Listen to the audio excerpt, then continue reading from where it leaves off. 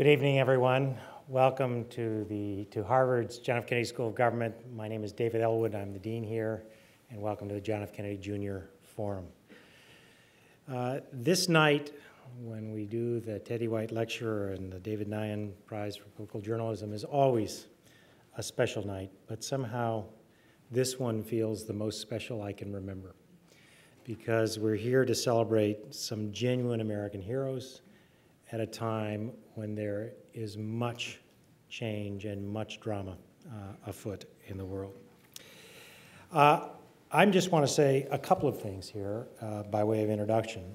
The first is that we're joined by another American hero, Walter Shorenstein, who's here with us tonight.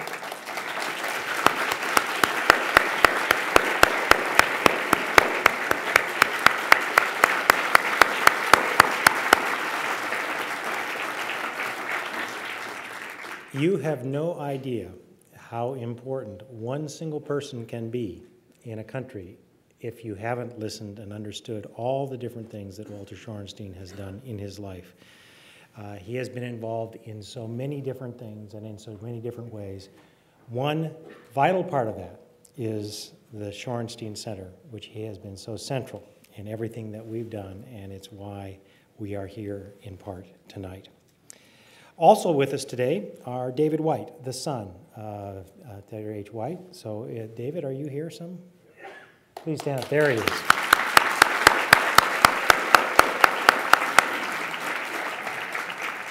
And your wife Margaret is with you as well, right? Great, thank you.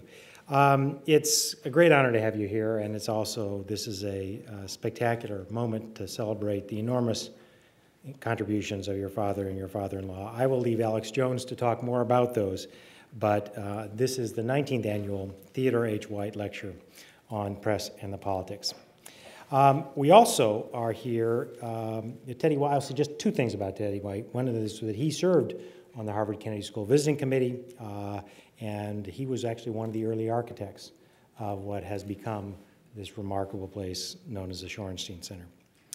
And of course, we're joined by the Honorable John Lewis, um, someone who has seen a great deal in history uh, and has created a great deal of history, and whose remarks will undoubtedly inspire us yet again. So I want to just simply now turn it over to Alex Jones. Um, oh, I should also, of course, I don't want to forget, we're also here to honor Bob Herbert, uh, who is here with us today.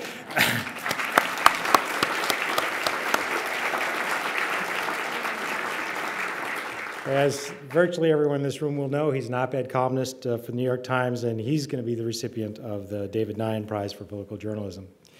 So it's obviously been an extraordinary campaign, and it's, uh, I think, one of those rare moments when we stare at one hand at a time when the problems of the world threaten to overwhelm us in ways that I can't remember. Uh, I've been to New York three times in the last three weeks, and each week is worse than the last. Um, and on the other hand, it is a moment when the excitement and the energy, the inspiration of young people has never been greater. So we're very, very fortunate today to have um, such a remarkable man to talk to us about this. I want to say a couple words about Alex Jones.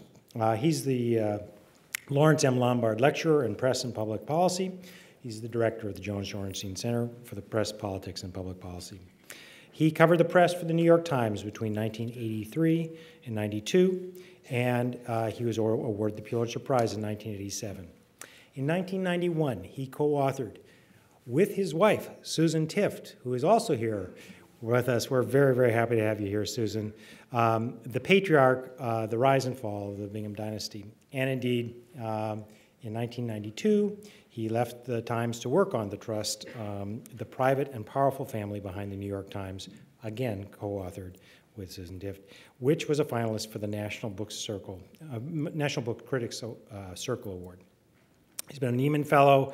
He's been a host on National Public Radio's On the Media, uh, a host of an executive editor of PBS Media Matters.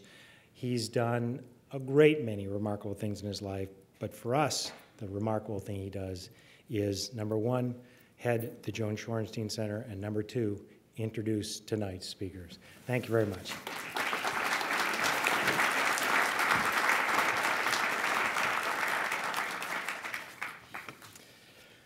Ah, Thank you, David.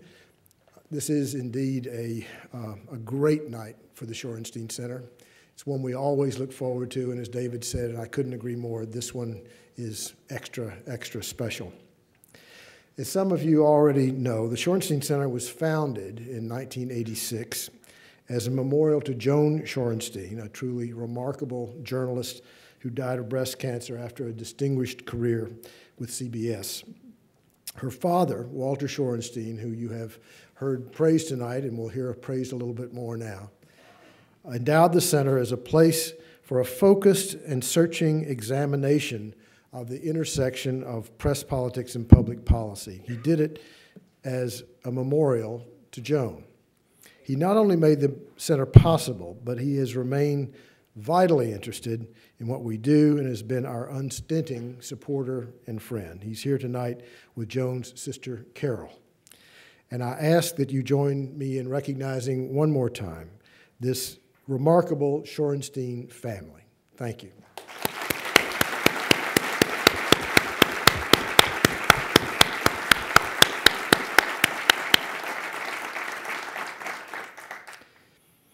Bit later, you will hear from our Theodore White lecturer for, for 2008, the Honorable John Lewis. But I first have another task to perform, which is an honor, but a bittersweet one. In 2005, we at the Shorenstein Center lost a great and much admired friend, David Nyhan, when he, when he died unexpectedly. Some of you did not know David, and I want to speak of him briefly as we this year bestow the fourth annual David Nyhan Prize for Political Journalism. David Nyhan was a man of many parts, a devoted family man, beloved friend, and always a boon companion. He was a real Boston guy, a big, handsome man with a killer smile, Irish eyes, and the rare power to walk into a room and make the lights seem to come on. I saw him do it again and again during his time as a fellow at the Shorenstein Center. But tonight we honor David Nyhan, the consummate reporter and political journalist, which is the role that occupied much of his life and at which he could not be bested. David was a reporter and then a columnist at the Boston Globe, and his work had both a theme and a character. The theme was almost always power, political power, and also especially the abuse of political power by the big shots at the expense of the little guys. He loved politics. He also loved politicians. As a group, he respected them. He felt they were often given a raw deal and judged by a standard that was smug and sanctimonious, two things David never was. But if politics was the theme of David's work, the character of that work was a mixture of courage and righteous anger, leavened by a great sense of humor and the ability to write with grace and passion. He relished a fight with a political figure or perspective, yet had a knack of seeing beyond the surface of issues and the baloney at the heart of things, and especially to the reality of what was going on. He was a self avowed liberal and not defensive about it. As a columnist at the Globe, he was a battler, a no holds barred advocate. But he was always also surprising his readers with his take on things because, most of all, David Nyhan was his own man and he called them as he saw them. Were he here, he would still be in a state of delirious joy that Barack Obama has been elected President of the United States. In his memory and honor, the Nyhan family.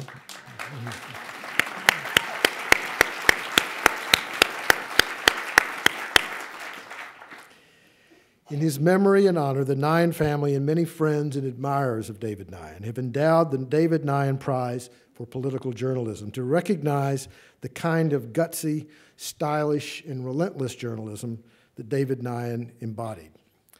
David's wife, Olivia, his children, many members of his family are here tonight, and I would like to ask them all to please stand.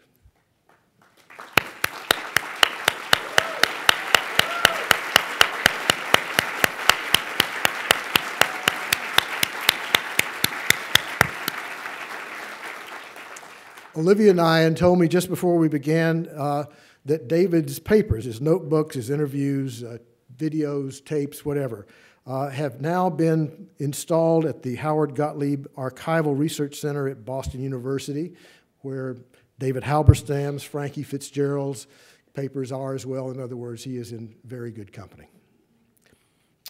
This year, the David Nyhan Prize for Political Journalism goes to Bob Herbert of the New York Times.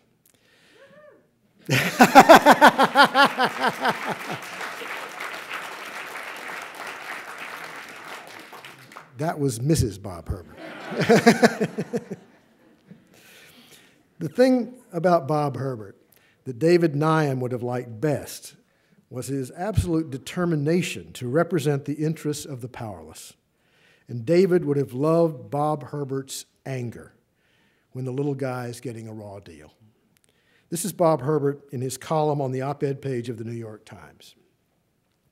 The most important thing the Democrats and President elect Obama can do with regard to the economy is bring back a sense of fairness and equity. The fat cats who place the entire economy at risk with their greed and manic irresponsibility are trying to lay claim to every last dime in the national treasury. Meanwhile, we're nowhere close to an economic recovery program that will help the people who are hurting most. Or how about this from his Election Day column? Right now, the United States is a country in which wealth is funneled absurdly from the bottom to the top. The richest 1% of Americans now hold close to 40% of all the wealth in the nation and maintains an iron grip on the levers of government power.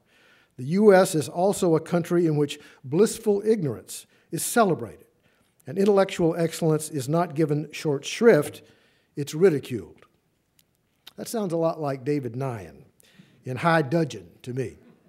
But even more like David Nyhan is the other aspect of Bob Herbert's work, which is finding the person, the human being, whose story makes the point, and then telling that story. One of my favorites was in his column just after Barack Obama had won the Democratic presidential nomination.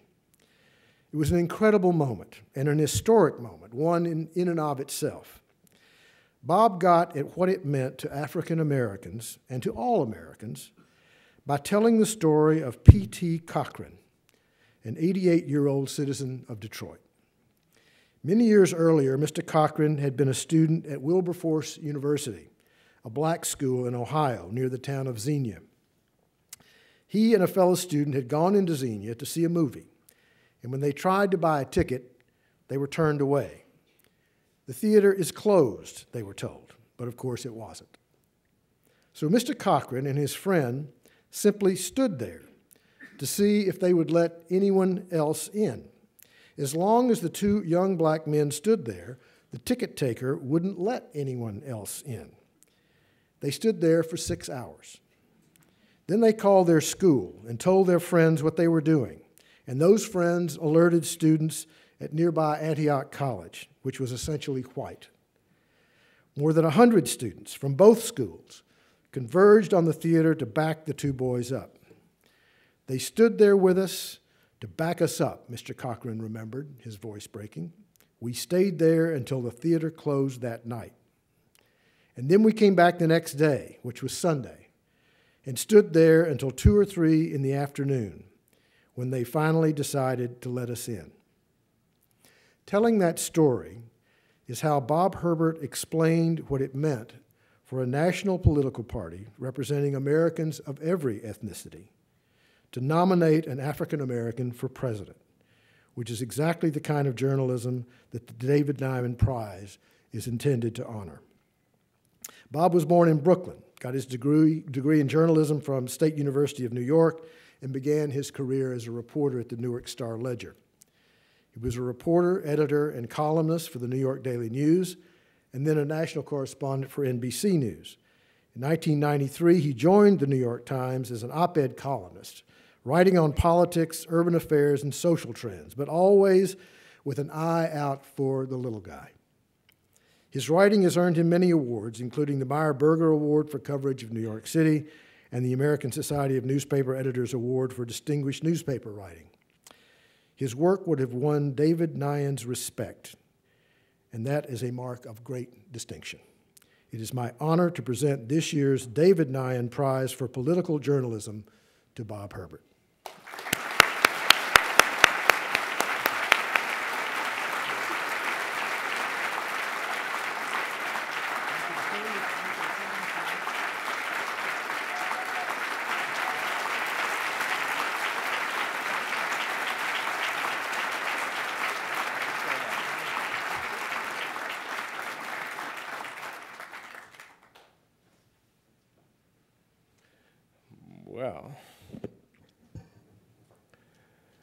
It is obviously a great honor, a tremendous honor, um, to receive this award, and I want to um, give a special thanks to the Shorenstein family here today, the Nyhan family here today, Dean Ellwood, Alex Jones, thank you so much, and um, everyone else who's a part of this, and everyone uh, for coming here um, this evening.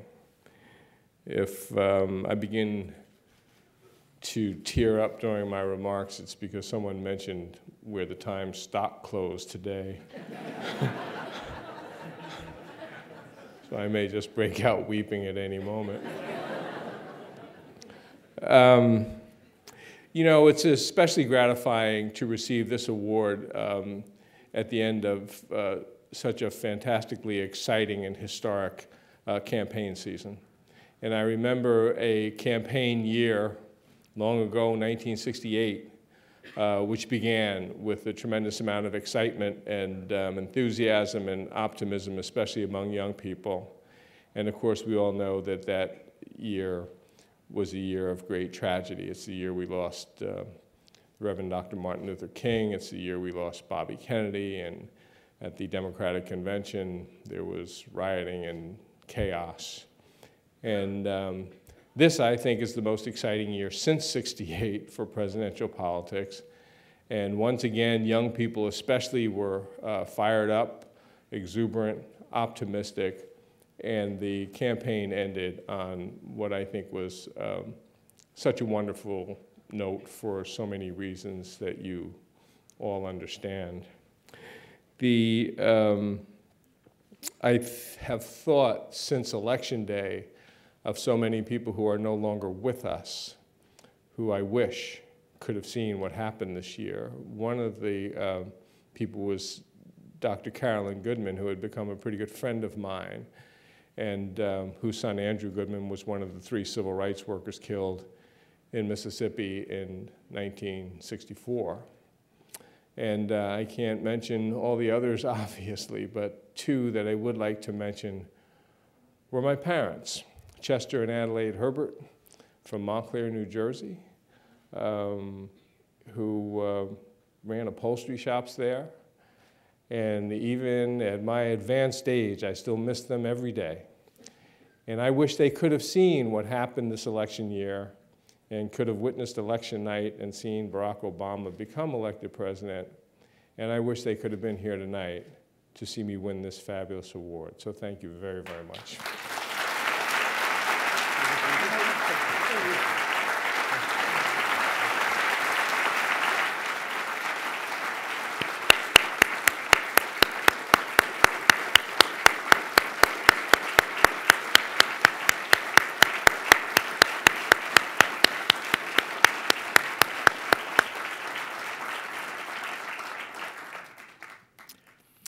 Theodore H. White was also a consummate reporter whose passion was politics. He came to Harvard on a newsboy scholarship and went on to a very distinguished career as a journalist and also a historian. Indeed, Teddy White, as he was universally known, changed both political journalism and politics when he wrote The Making of the President 1960 about the Kennedy Nixon campaign. For the first time, he raised the curtain on the warts and all side of presidential campaigns and changed forever the level of candor about decision making in the human drama that is now at the heart of campaign coverage. He followed that first book with three more Making of the President books in 64, 68, and 72. No doubt, The Making of the President 2008 will not be a book, but an industry. Yet no one has yet matched those smart and groundbreaking examinations of what happens and why in the maelstrom of a political campaign. And it is fair to say that Teddy White's heirs are the journalists of today who try to pierce the veil of politics, to understand what is happening, and then to analyze and deliver the goods to those of us who are trying to understand. Tonight we are joined by Teddy White's son David and David's wife Margaret, as David Ellwood introduced. I just wanted to say we are very glad that you're with us tonight on this very this, this occasion that means so much to us. Before his death in 1986, Teddy White was one of the architects of what became the Shorenstein Center. One of the first moves of Marvin Kalb, the center's founding director, was to raise the funds and establish the Theodore H. White Lecture on the Press and Politics in Teddy White's honor. This year, the Theodore White Lecture is to be delivered by the Honorable John Lewis.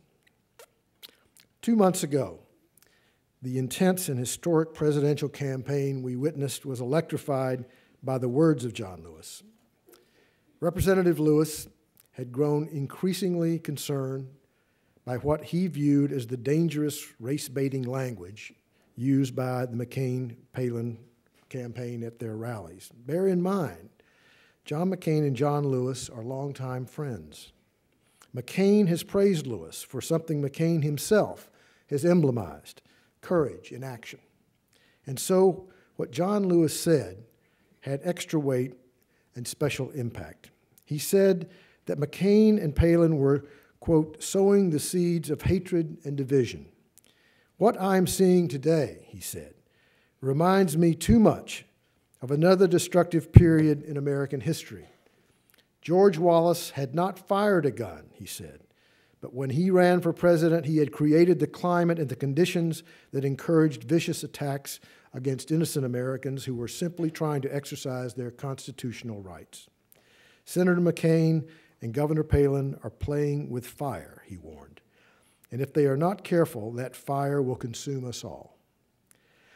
I was struck as I walked by one of our posters announcing tonight's Teddy White lecture that our speaker was identified as the Honorable John Lewis. And if ever there was a title that suited the man, that is it.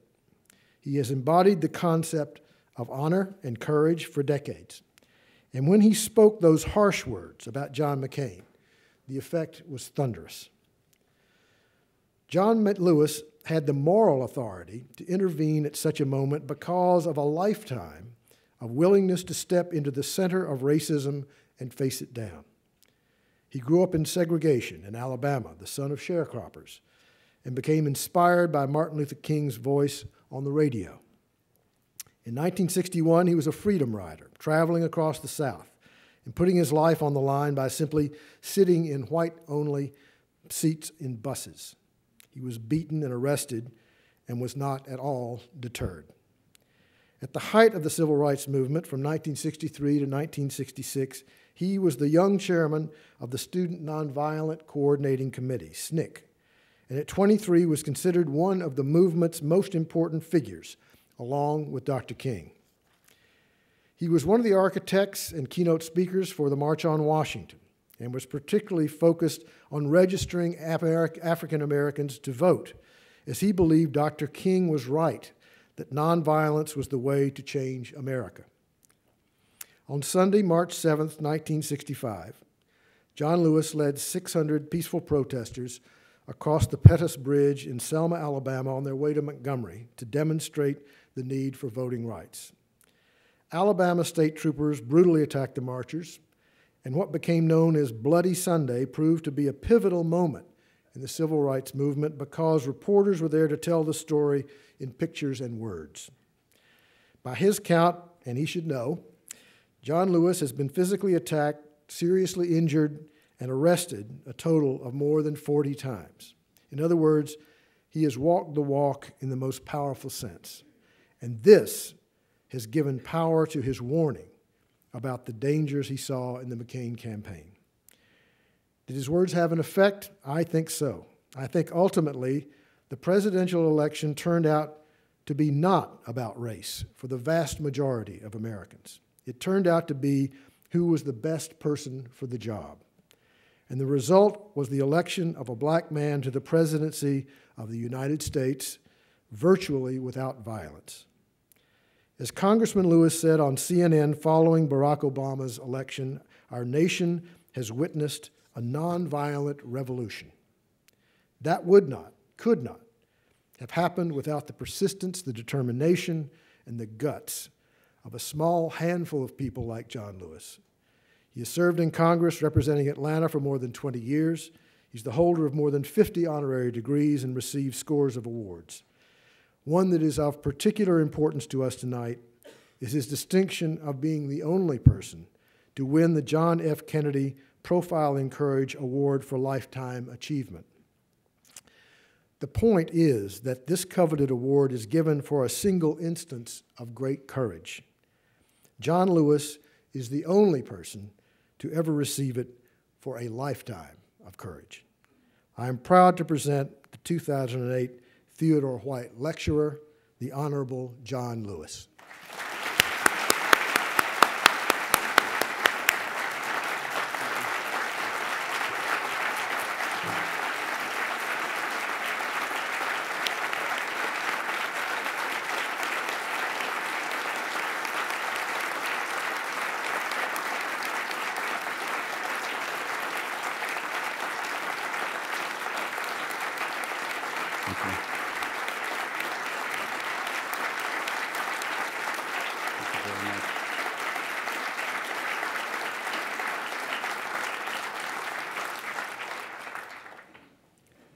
Thank you very much for those kind words of introduction. I'm delighted and very pleased to be here tonight to get out of Washington, just to get out and come to another part of the country. It's a little cold, but it's okay. to see and honor three wonderful families that contribute so much to journalism. I've often said without the press, the civil rights movement would have been like a bird without wings. The American press has been a sympathetic referee in the struggle for social justice, for change. Now I realize tonight and I see the editor of my paper here, uh, Cynthia Tucker from the Atlanta Constitution, and I probably should be very careful about anything I may say. Any and everything I said tonight, I believe is on the record, right? I knew that I'm supposed to deliver a lecture. But I think what I have to say tonight will be more like a testimony. Bob, congratulations. I read you. I'm inspired by you. Keep it up. Keep writing. Keep using the pen.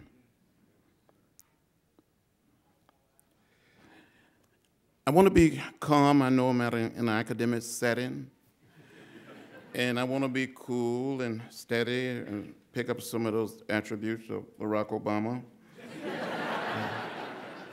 but I must tell you, it's going to be very hard. It's going to be very difficult. You know, Barack Obama was born in 1961, the year of the Freedom Ride in 1961. I was 21 years old, had all my hair and a few pounds lighter.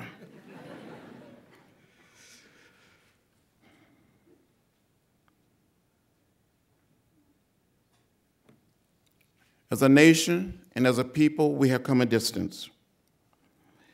And I must tell you that I'm so deeply touched to be invited to be here. For Teddy White was a writer that I knew. I remember seeing him on the last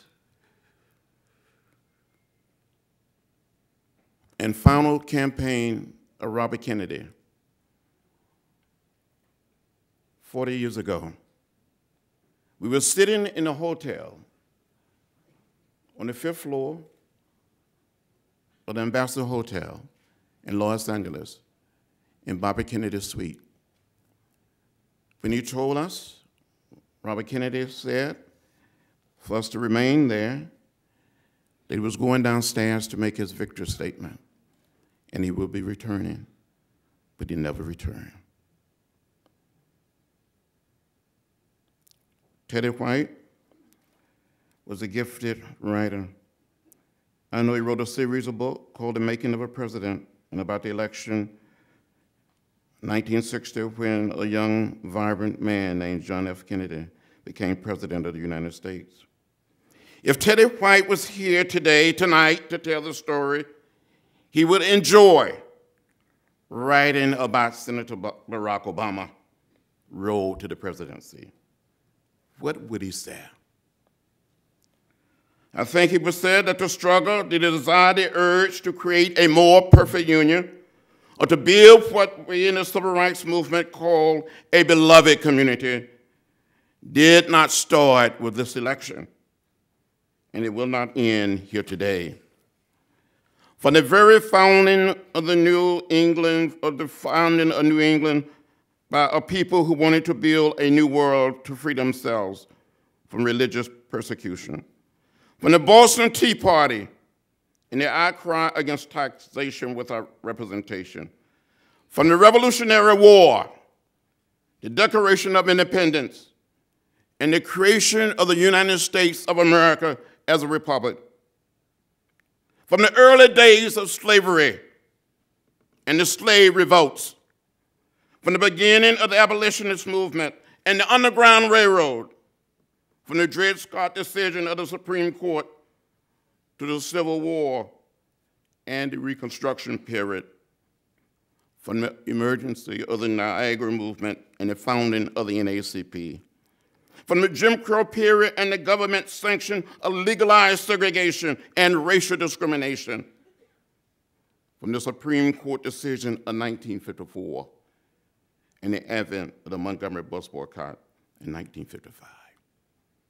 For hundreds of years, there have been a people struggling and believing, pressing and praying, sacrificing and dying in hopes that they could bring this nation to this moment and beyond.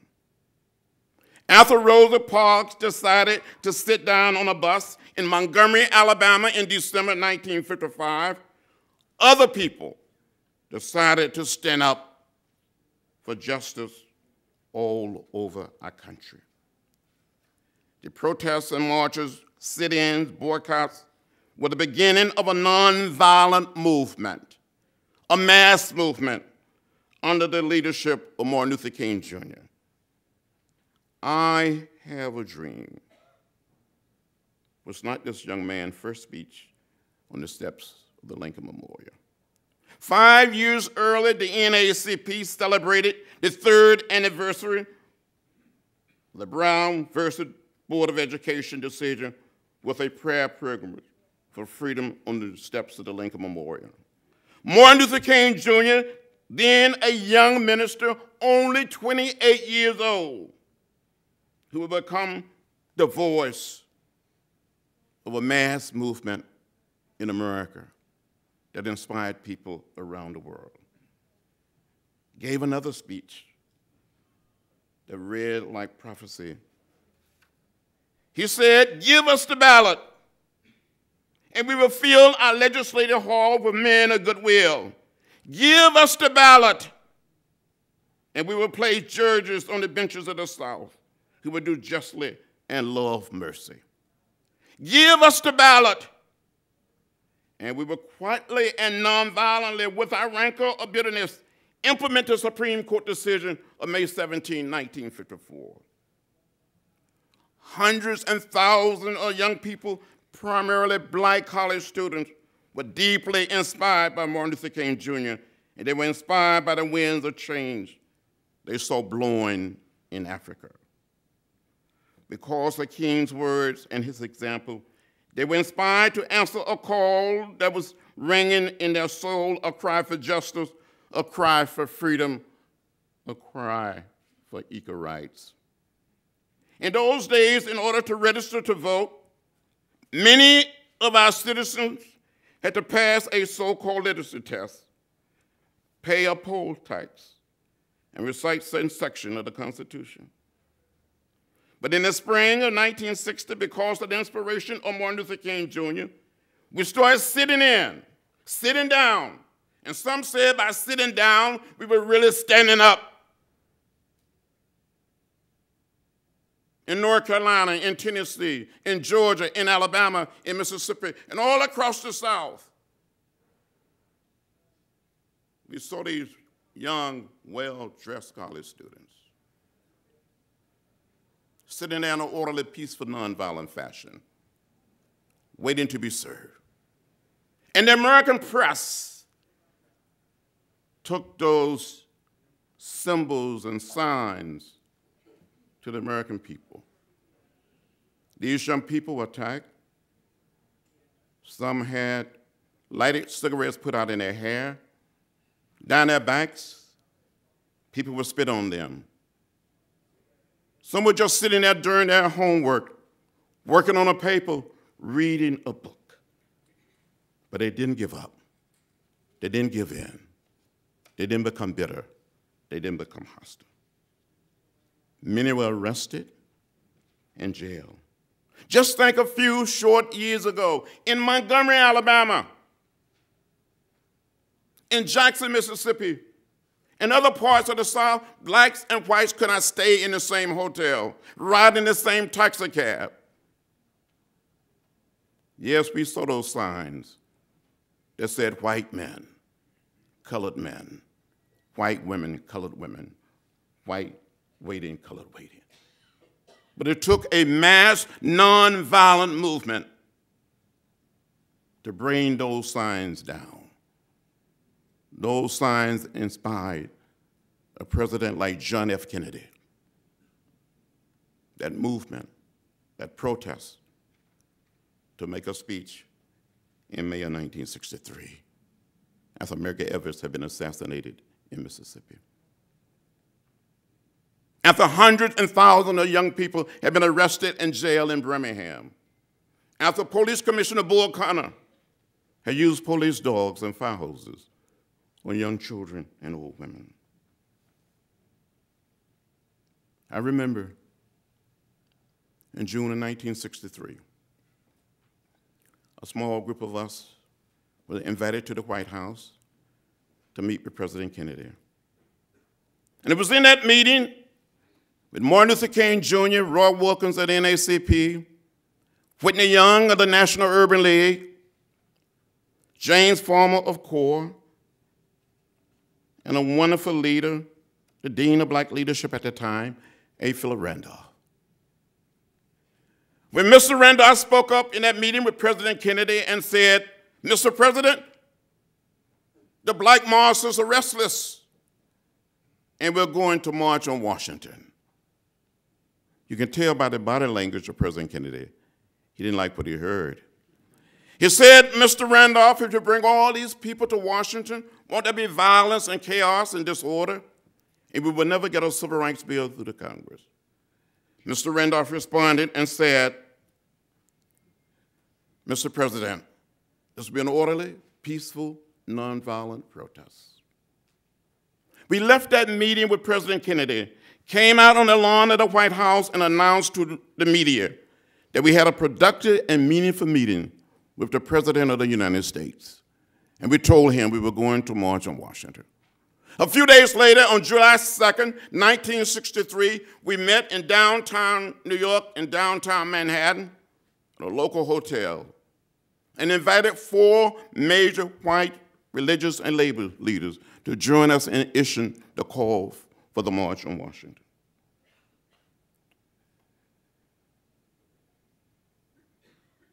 I wish all those leaders were here today.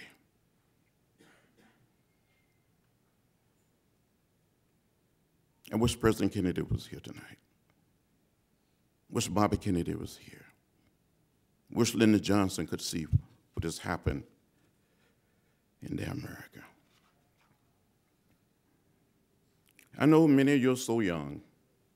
You were not even a dream.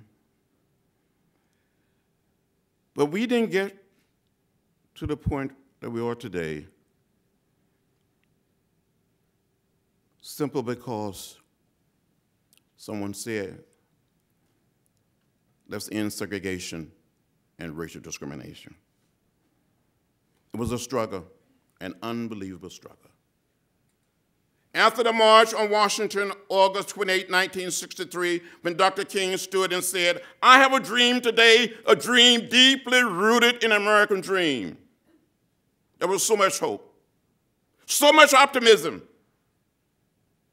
18 days later was the bombing of a little church in Birmingham, Alabama, where four little girls was killed on a Sunday morning. It was a sad and dark hour in the movement. But we didn't give up. We didn't give in. We didn't become bitter. We didn't become hostile. We kept the faith and we kept our eyes on the prize. Many newspaper people, editors, wrote unbelievable articles. Politicians made statements and condemned the violence, the bombing in Birmingham, Alabama. And the because of what happened in Birmingham, Alabama on September the 15th, 1963,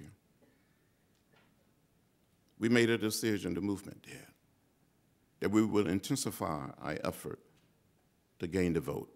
When I spoke at the March on Washington on August 28, 1963, I've been reading a copy of the New York Times, and I saw a picture of a group of black women in Southern Africa carrying signs saying, one man, one vote. So in my March on Washington speech, I said something like, one man, one vote is the African cry. It is ours too. It must be ours. And that became the rallying cry for the young people in the Student Nonviolent Coordinating Committee. We went to Selma in the heart of the Black Belt. Majority black in Dallas County, where Selma is the county seat about 50 miles south of Montgomery. Only 2.1% African Americans were registered to vote. You can only attempt to register to vote on the first and third Mondays of each month. You have to go down to the county courthouse, get a copy of the so-called literacy test, and attempt to pass this test. People stood in unmovable lines a county called Lowndes County between Selma and Montgomery. The county was more than 80% African American, but there was not a single registered African American voter in the county. In the state of Mississippi, the state had a black voting age population of more than 450,000, but only about 16,000 blacks were registered to vote. A young man by the name of Bob Moses, attended Harvard, head of the uh, Mississippi Project. Helped organize something called the Mississippi Summer Project. And we recruited more than a thousand students, young people, lawyers, teachers, to come to Mississippi to work in Freedom School, preparing people to pass the so-called literacy test. On the summer night of June 21st, 1964, three young men that I knew, Andy Goodman, Mickey Schwerner from New York, white. James Chaney, African American from Mississippi, went out to investigate the burning of an African American church. They were stopped by the sheriff, arrested, taken to jail. Later that same evening, they were taken from the jail, turned over to the Klan, where they were beaten, shot, and killed. And I said tonight, these three young men didn't die in the Middle East. They didn't die in Eastern Europe.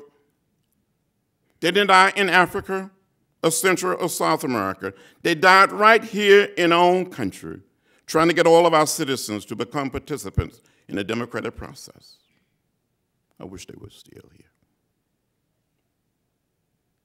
It was a sad and dark hour for the movement. President Lyndon Johnson, Olga J. Edgar Hoover, the head of the FBI, to open an office at the FBI in Mississippi. He called out part of the military to search for the bodies. And six weeks later, the bodies were discovered buried on a mound of dirt near Philadelphia, Mississippi. President Johnson on July 2, 1964, signed the Civil Rights Act. He won a landslide election in November 1964. Martin Luther King Jr. received the Nobel Peace Prize. He come back to America, hold a meeting at the White House with President Johnson, and said, Mr. President, we need a strong voting rights act. President Johnson tell Dr. King in so many words, we don't have the votes in the Congress to get a voting rights act. I just signed the Civil Rights Act. Martin Luther King Jr. come back to Atlanta, meet with a group of us, and made a decision to join us in Selma, Alabama. And he said, we were right that act. In Selma, Alabama, you had a sheriff who guarded the courthouse like it was his own home. He wore a gun on one side, a nightstick on the other side. He carried an electric typewriter in his hand, and he didn't use it on cows.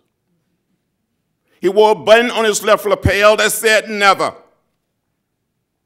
And I remember when it was my day to lead a group of elderly black men and women to the courthouse, January the 18th, 1965. We get to the top of the steps, trying to go through a set of double doors, trying to get in to get copies of the literacy test. Sheriff Clark met me on the top of the steps. And he said, John Lewis, you're an outside agitator. You're the lowest form of humanity. I looked at the sheriff and I said, Sheriff Clark, I may be an agitator, but I'm not an outsider. I grew up only 90 miles from here, and we're going to stay here until these people are allowed to register to vote. And he said, You're under arrest. And he arrested about 60 of us, took us all to jail. A few days later, Martin Luther King Jr. and others came to Selma and marched on the courthouse. And more than 300 people were arrested. We filled the city jail, the city stockade, the county jail. And the American press told the story. And then, about two weeks later, in a little town called Marion, Alabama, Perry County, Alabama, is the home county of Mrs. Coretta Scott King, the home county of Mrs. Andrew Young, the late Jean Young, the home county of Mrs. Ralph Abernathy, Juanita Abernathy. There was a march that evening for the right to vote in this little county. A confrontation occurred. One young man by the name of Jimmy Lee Jackson tried to protect his mother. He was shot in the stomach by a state trooper. And a few days later, he died at the Good Samaritan Hospital in Selma. And because of what happened to him, we decided to march from Selma to Montgomery. So on Sunday, March 7, 1965, after church, about 600 of us, mostly elderly black men and women and a few young people, participated in a nonviolent workshop. We had a prayer. Someone started singing. and then it became a silent walk. We were walking in twos the streets of Selma, exercising our constitutional rights. No one said a word. I was wearing a backpack before it became fashionable to wear backpacks. I thought we were going to be arrested and that we were going to go to jail, so in this backpack, I wanted to have something to read. I had two books. One was by a professor from Harvard, political scientist. The other one by Thomas Merton. I wanted to have something to eat. I had an apple and I had an orange that wouldn't last too long. And since I was going to be in jail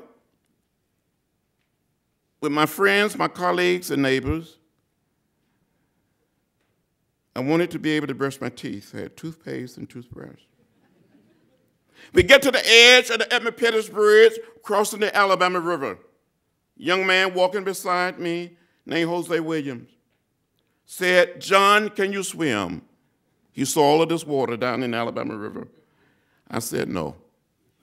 I said, Hosea, can you swim? He said, yes. I said, well, there's too much water there. We're not going to jump. We're going straight ahead.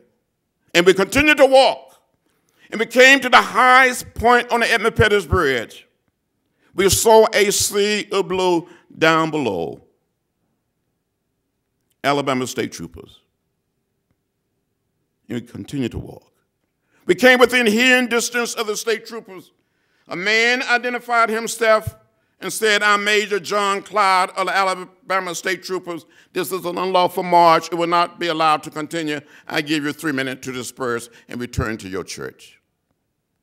In less than a minute and a half, the major said, Troopers advance. You saw these men putting on their gas masks. They came toward us, beating us with nightsticks and bullwhips, tramping us with horses, releasing the tear gas was hit in the head by a state trooper with a nightstick. Had a concussion at the bridge. I thought I saw death. I thought I was going to die. That Sunday became known as Bloody Sunday. 17 of us were hospitalized. There was a sense of righteous indignation during the next few days when the American people witnessed by way of television, by way of newspapers and magazines, what it happened. There were demonstrations in more than 80 American cities at American embassies around the world when people saw what had happened in Selma. Because of Bloody Sunday in Selma, Alabama, President Lyndon Johnson invited Governor Wallace to come to Washington to meet with him to try to get his assurance that he would be able to protect us. He could not assure the president.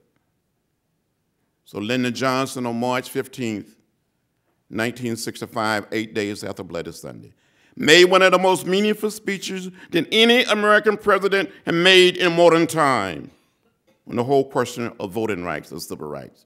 Lyndon Johnson spoke to a joint session of the Congress, spoke to the American people.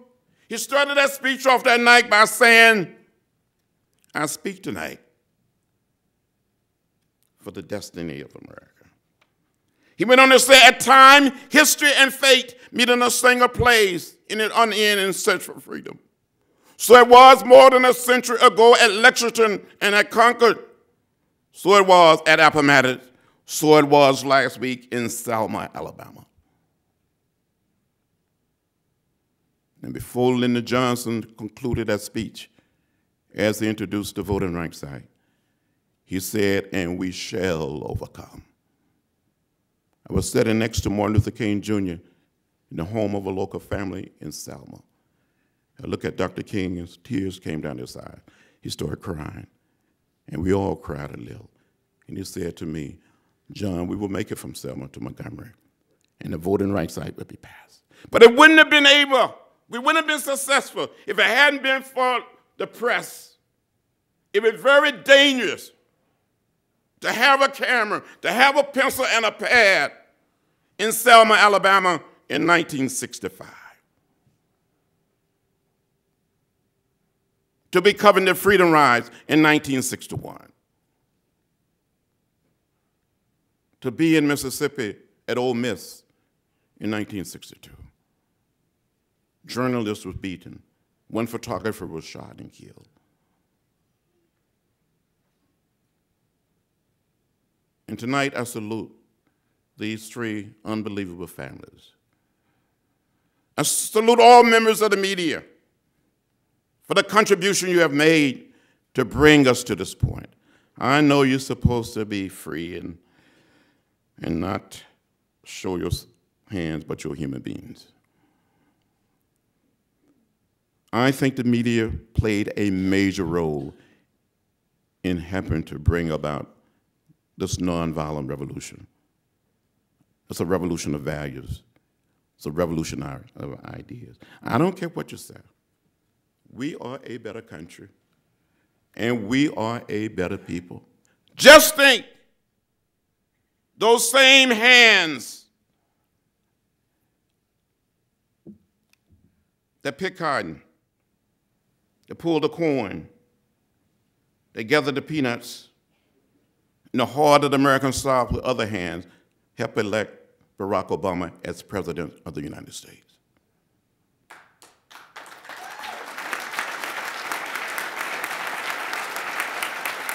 If someone, if someone had told me, if someone had told me when we were meeting with Lyndon Johnson at the signing of the Voting Rights Act on August 6, 1965, if someone had told me when I saw that copy of Life magazine, when I saw those TV footage telling the story of what happened and how it happened, and that we will live to see the day when we will come to that point as a nation and as a people and we take a significant step, a major step down a long road toward laying down the burden of race. I used to tell young people, students, elementary school students, high school, college students, I said, if you don't believe in that we have changed, come and walk in my shoes. But now they can see it. I don't have to tell anybody. Since the election of Barack Obama as President of the United States of America, something has happened to our very psyche. I was Cynthia Tucker. I was on the streets of Atlanta a few days ago, and a young white gentleman who grew up in rural Alabama like I did came up and hugged me and said, Congressman, we are free at last. The Civil War is over. It is over. It is gone.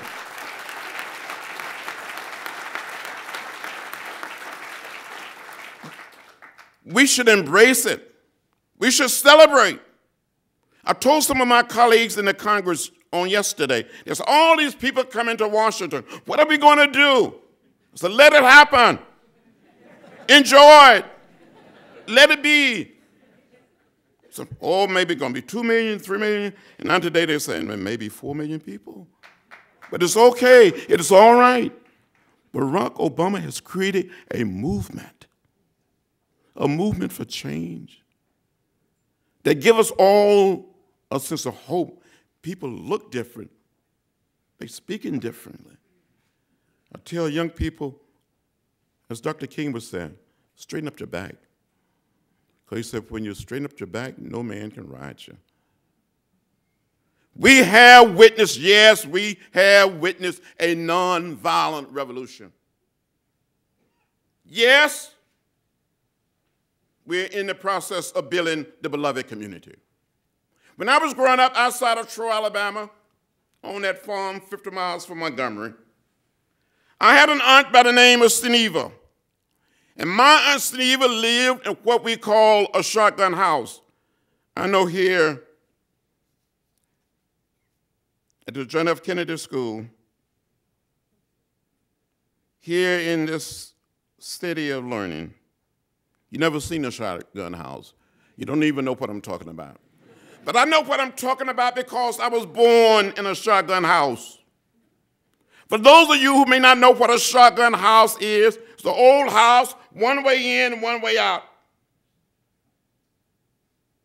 In the nonviolent sense, it's the house where you can bounce a basketball through the front door, it will go straight out the back door. In the military sense of the old house, where you can fire a shotgun through the front door and the bullets will go straight out the back door. My Aunt Seneva lived in a shotgun house.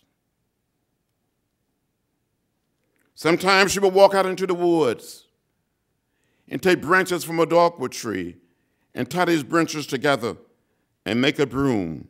And she called that broom the breast broom. And from time to time, she would walk out and sweep this dirt yard very clean, sometime two and three times a week, but especially on a Friday or Saturday, because she wanted the dirt yard to look very good during the weekend.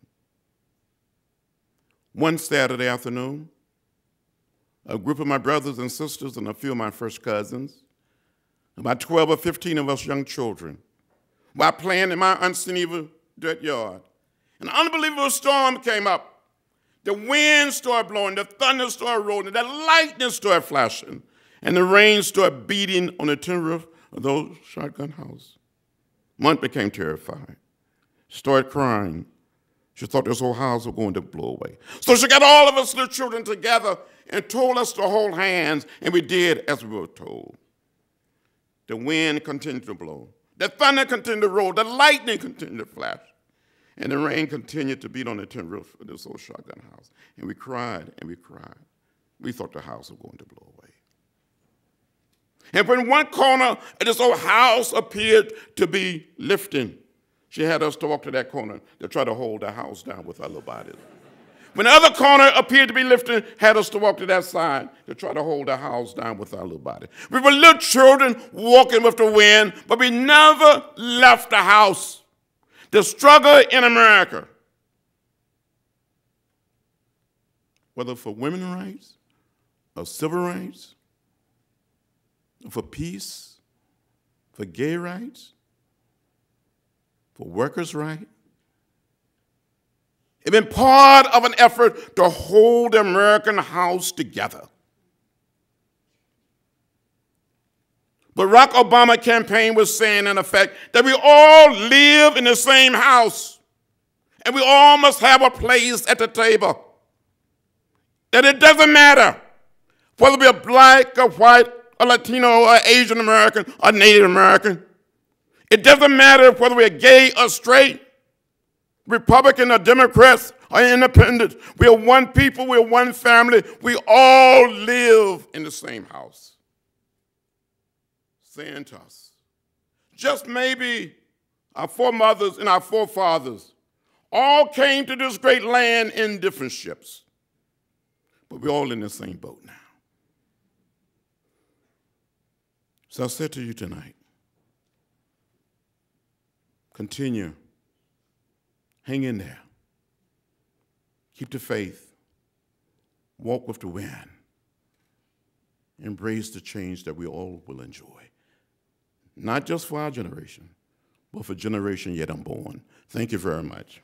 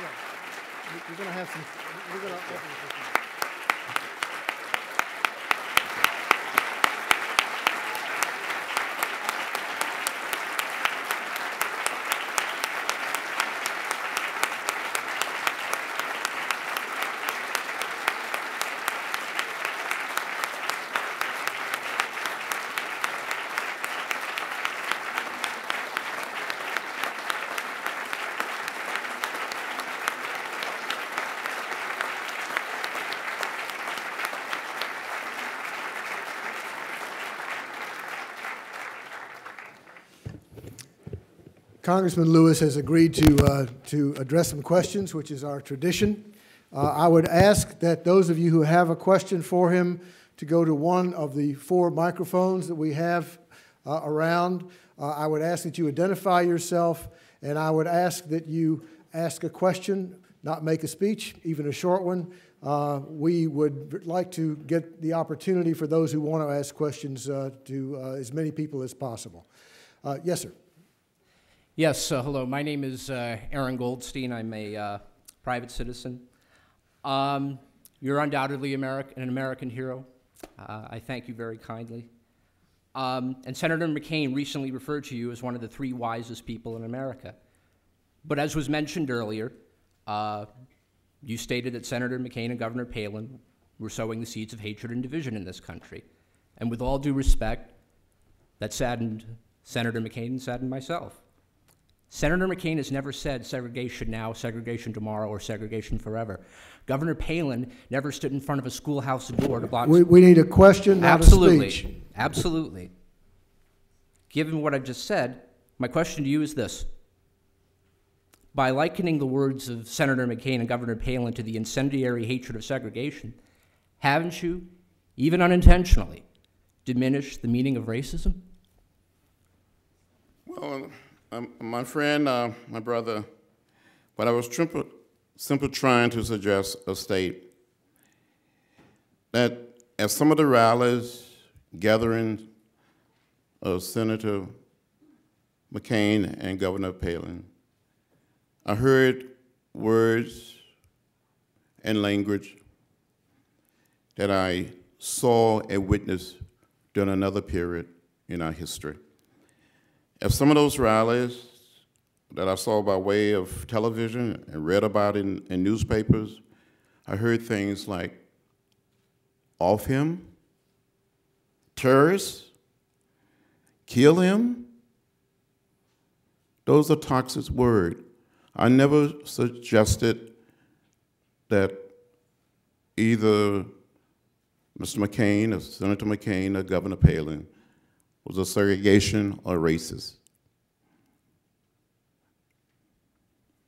And I stand by my statement.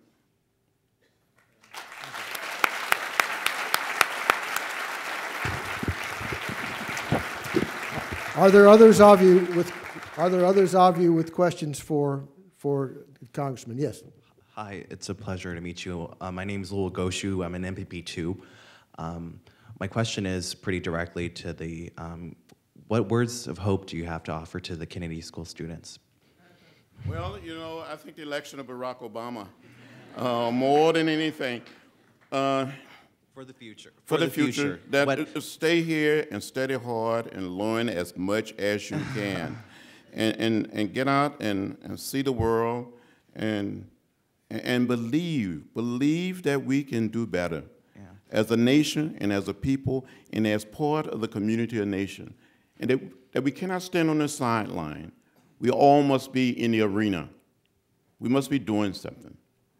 And people should study. It'll be, it'll be a, a wonderful thing if uh, someone, somewhere, here at the Kennedy School, and I know somebody's working on it right now, just analyze what happened. This was a brilliant campaign. I have never, ever seen anything like this. Never. It was a movement. I, the other day in, in my own district in Atlanta, I was standing in the poll. I waited till November 4th to vote. I didn't do early voting. I didn't do advanced voting. I wanted to be there on, I wanted to stand in line on the day.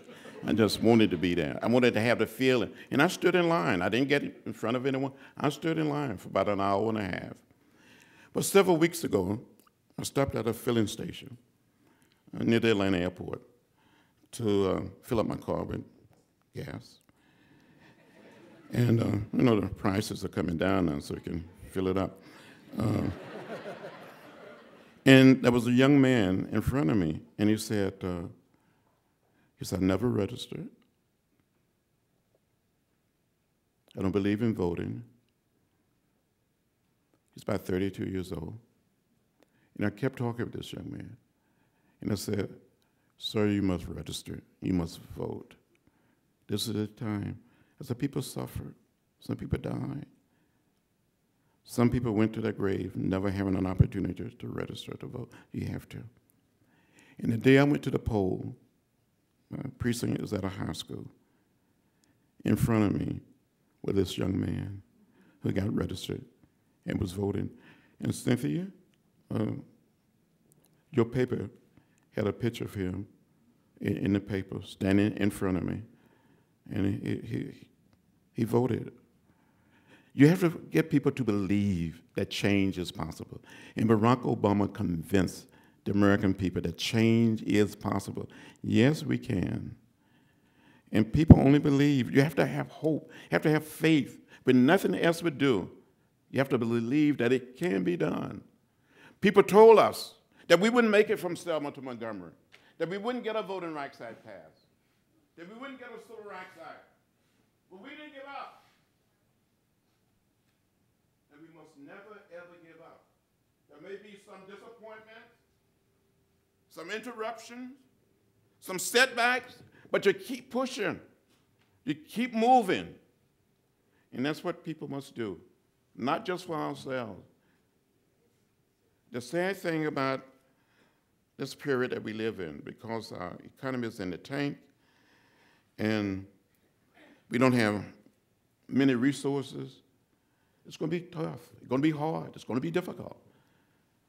But Barack Obama, paraphrasing the words of Dr. King, we have some difficult days ahead. But as a people and as a nation, we will get there. And I believe we will. Yes, sir.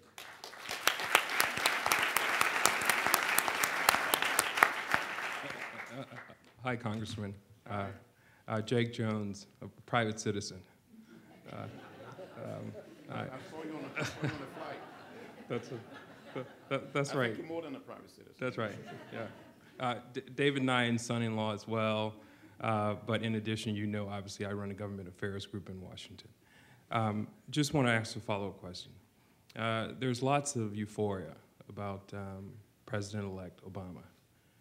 And given the conditions and just the expectations, is it possible, or how can he live up to the expectations? How can he not disappoint? Well, I, we almost help the president. I'm convinced that this young man is going to be a good and great president. He has a vision, and I think he will lead the American people and lead the community and nation on a great journey. And we should be prepared to go with him on this journey. It's not say anything bad about the present administration, but we haven't been called upon to do anything during the past eight years. The only people that have been sacrificing are young men and young women in uniform.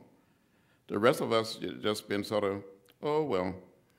Um, but I think Barack Obama is going to challenge the best in all of us to go out and do something, not only here at home, but also abroad. And that we would answer the call. I'm very hopeful and very optimistic that we won't be disappointed. Yes, sir. Hello, uh, my name is Robert Ruffins. Um, uh, I'm from Washington, D.C., and I grew up within sight of the Capitol. Um, and when I saw um, uh, Barack Obama get elected and what happened in the yard, and I called my grandfather, who's 89, um, and told him what happened, you know, I could hear that he was crying. Though the one thing he told posed to me as a question is, you know, well, what do we do when we, you know, when you go back to your dorm room? You know, when I come back to DC, you know, I grew up, you know, in a middle class neighborhood, but I'm the only, me and my sister are the only people of the many children who, who grew up with me who are going to college. You know, when we go back and the, you know, the excitement and the euphoria has worn off, you know, what then? You know, and I'm not sure if this is a question that can be answered, you know, in, you know, a few words or a few minutes or even a few years, but you know, where do we go from here? Well, I think each one of us must take it up on ourselves to pass it on. That, that we've been blessed. We're more than lucky, but we are blessed to have an opportunity to, to get an education, to learn as much as possible. We have to reach back and bring others along. We all should find a way to make things better for all of the citizens that dwell on, on this little piece of real estate that we call America. Uh, My name is Sridhar Prasad. I'm a uh, JD MBA student here. Uh, Congressman, thank you for your humanity, most of all. Um, There seems to be, I think, a uh, a sense that both, not only in political life, but in civic life, in our business life, our business environments, a a genuine lack of courage and leadership in, in this day and age. Um, One need only look at the recent hearings of yesterday and the recent hearings of a couple of months ago to note the lack of courage and leadership that exists perhaps in public life. Um, as someone with a healthy amount of both. Um, why do you see that as being such in this day and age, and what what are maybe some of the causes behind it, and how do we move beyond that to have sort of leaders that the kinds that we read about in history books sort of come alive once again? Well, we have to convince and, and tell people just uh, what I call having an executive session. I told some of my colleagues today, we had a little election of uh, committee chairs today, and I was supporting a particular person. That's why my voice sounds so. I preached today to the Democratic caucus. And I don't know how many people I converted, but I, I did. But I said, uh, before we cast our vote, each of us should have an executive session with ourselves. And I said, someplace I read, someplace I heard, that we should do unto others as we would have them to do unto us. Too many of us in, in government, in, in business and private, we, we, we operate by polls. We don't go with our guts, with our soul, with our heart. We tend to put our fingers in the air to see which way the wind is blowing. But if you believe in something, you have to go for it. When, when I was growing up and would visit the little town of Troy or visit Montgomery or Tuskegee, and I saw those signs, and I would ask my mother and my father, my grandparents, and my great grandparents, and they would say, That's the way it is. Don't get in the way, don't get in trouble. But one day I heard Martin Luther King Jr. on the old radio when I was 15 years old. And he inspired me to get in the way, to get in trouble. And I've been getting in trouble ever since. so.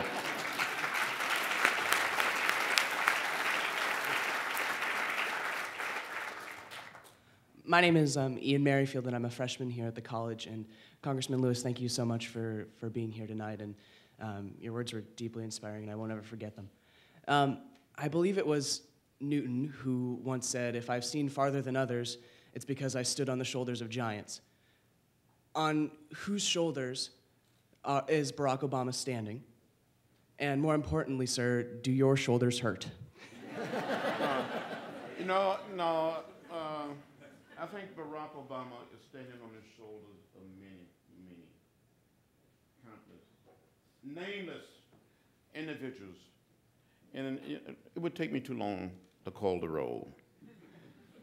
And when I think about it sometime, I, have cried a great deal during the past few days. And um, sometime a young reporter interviewed me a few days ago. I cried and the reporter cried also. We all, we had to stop the camera, just stop, because it's, it's amazing, it's unreal, it's unbelievable. Leading up to the campaign, to the election itself, for several days, I couldn't sleep. I just, I was, I would get up in, in the morning, and uh, whether in Washington or in Atlanta, to try to get the news like three o'clock in the morning. Who's that? ABC with um, the morning uh, starting around three o'clock, and, and you get up and you watch the little news, or you get uh, CBS up to the minute, NBC today's whatever they call it, and you get the early edition of newspapers and you go online. You just want to know what's happening, what's going on. Um, I love current events. From a, from a young child, when I was growing up very, very young, my family was too poor to have a subscription to the Montgomery Advertiser. So my grandfather had one. And every day when he would finish reading his newspaper, we would get his newspaper and we would read it. And I think it made me a better person and informed me of what was happening in Alabama, in America, and around the world. And then came television. I don't want to say anything, but in Barack Obama's book, Audacity of Hope, he said he had three heroes Abraham Lincoln, Martin Luther King Jr., and John Lewis. I am uh, flattered that he would say something like that. I don't consider myself a hero. But there were people like Fannie Lou Hamer, this brave and courageous black woman in the Delta, Mississippi. Countless individuals that never, never, ever lived to register to vote, but they tried to get registered. They tried to vote, and many of them went to their death. And I would like to think they must be looking down from someplace, rejoicing with this unbelievable victory. So I think you stand on the shoulder of generations of warriors, generation of fighters. People, many individuals went to create the climate and the environment that made it happen. One more question. Congressman Lewis, thank you very much for coming. My name is Earl Benson. I'm a student at the law school and the business school. And uh, in your book in 1998, in the end of it, you talk about the fact that there needs to be a new movement, an economic movement. And obviously, those words are prescient given uh, the current state of the economy. What do we need to do now, and what steps do we take um, to create this movement now, in a new economic development movement? Well, I, I, I really believe that the Barack Obama's campaign is the essence of that movement. Uh, I'm not saying that I was predicting anything or that I saw something coming along, but I tell you, uh, to see hundreds and thousands of people, people leaving Georgia, going to Florida. So, oh, we can't win in Georgia. Let's go and help in Florida as a possibility. Uh, people leaving Virginia, going to North Carolina. People leaving North Carolina, going to Virginia. Uh, uh, uh, uh people leaving Washington, D.C., uh, going to Pennsylvania, and, and people traveling all over the country. People giving up a semester. People taking their vacation time. That's what you call a movement. I think the important thing is for the American people and all of the supporters of Barack Obama to stay engaged. I think you're going to put together a great cabinet, going to bring in the best and the brightest, and hopeful we get some resources. Maybe you will see something akin maybe to the New Deal or the Great Society, that we would get health care for all of our people. I happen to believe, and I think Barack Obama believed, that health care is a right. Senator Kennedy strongly believed that, that it is a right and it's not a privilege, and all of our people should have health care. We got to do that almost 50 million of our citizens without any health insurance, health care. We got to have comprehensive, universal health care. That is one thing that we must do.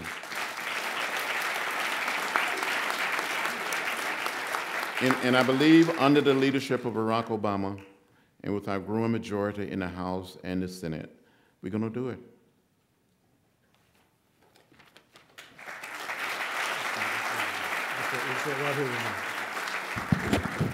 We will, uh, we will continue this conversation tomorrow at the top of the Taubman Building, which is right across the, the uh, yard. Uh, Lawrence Bobo, the W.B. Du Bois Professor of Social Sciences at Harvard, will be there. Alex Castellanos of the Institute of Politics, and a specialist in uh, media communication for five presidential campaigns. Maralee Schwartz, visiting Lombard, or visited, uh, visiting moral lecturer at the practice of Pal uh, visiting moral lecturer. She works for me. I ought to know what her title is. anyway, she's terrific. Was at the Washington Post. She's at the Shorenstein Center, and she'll be part of this conversation too. She's a specialist in politics. And Cynthia Tucker, uh, editorial page editor of the Atlanta Journal Constitution, and a Pulitzer Prize-winning columnist herself. And I'm very glad to say, John Lewis will be with us as well. So we hope we will see you tomorrow at 9 o'clock. Bob Herbert, congratulations. John Lewis, thank you.